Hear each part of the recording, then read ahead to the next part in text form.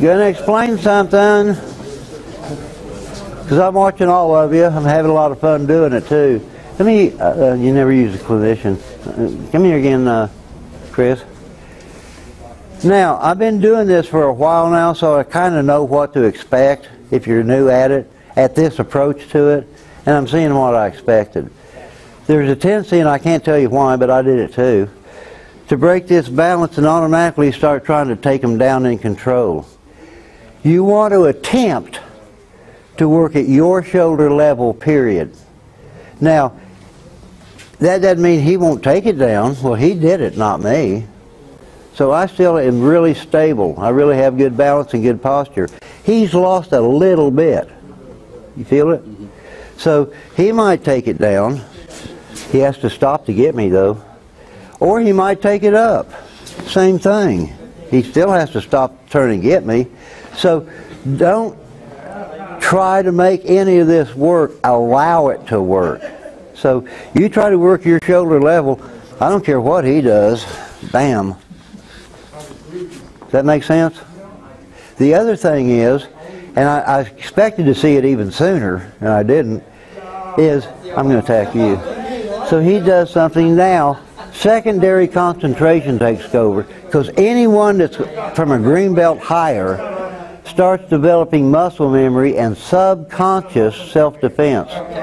This is a self-defense art, so your body's not going to let any bad thing happen to it. Well, you have to give it up. You have to let them have you at first.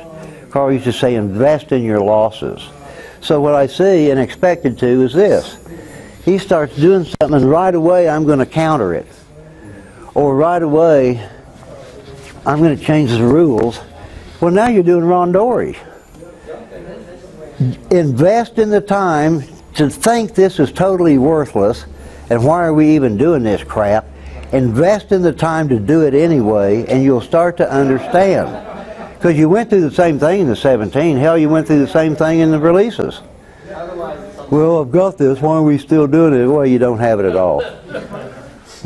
Uh, Jim will tell you, a lot of years ago, it wasn't Jim, it was another guy, but they came to me and they said, we'd like you to have a Saturday of just high ranks, just black belts only, and would you do the, the highest level stuff we can do?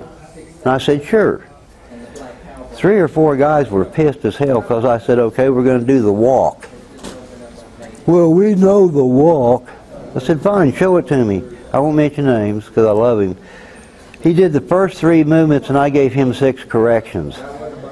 And he really thought he was doing a great job, and it, most people, he was doing a great job, but he didn't know the little tiny things that make great big differences. Now, I can make this even simpler by describing the two breaks we use. Just be static, don't move. This is a goblet step, isn't it? You're using the walk? This is a goblet step, isn't it?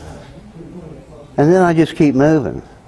Now, in the 17, let me use Oshi Oshi as an example because it's a good one. This is right out of the walk. And this is right out of the walk. So you have this moving out of the walk, this moving out of the walk, and this moving out of the walk. Three of the first steps of the walk, both sides, that's how you do in shomen ate, uh, Oshi Oshi. But if I goblet step here, and he comes after me, he has to lift this arm to get me, because he has to counterbalance his body, or he'll throw himself. So, and another thing I'm terrible about, I think I mentioned this last night, I've worked on this so much that sometimes I break with this hand and sometimes I break with this hand and I don't realize I'm switching them. I'm so used to switching hands. So come in here. He lifts that. See him lift that arm? I didn't do that. So we come in. He lifts it. I switch hands. Now I don't push. I just keep moving until he falls down.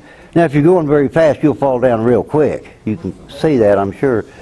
But some people, like uh, one of my students, Celise, she's just is five feet tall. She's 90 pounds.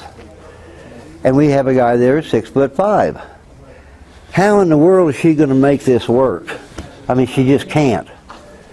But he's pretty good uke when he tries. And if he tries to get her, this arm comes up and I just keep moving. I'm not pushing anything. I think we went through this last night. If you fight it, you'll think they're pushing on you, but you're actually pushing on them. Did, did I mention that last night?